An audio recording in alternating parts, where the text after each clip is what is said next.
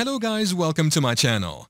In this video, I'm going to show you how to delete Instagram account. It is a quick and easy tutorial, so let's get into it.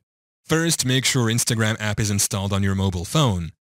Now click on the app to open it. Once in, go to the profile icon at the bottom right corner and tap on it.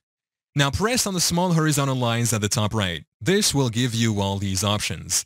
Just tap on Settings and Privacy. We have Account Center here under your account. Click on it.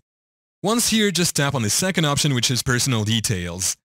Then click on Account Ownership and Control.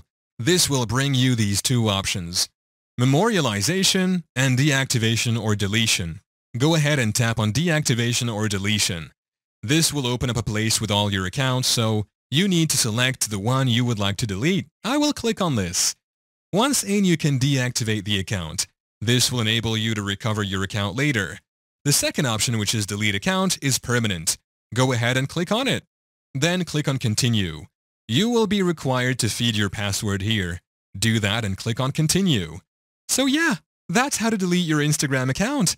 Thank you for watching. If this video was helpful, please leave a like and subscribe to my channel for more videos like this.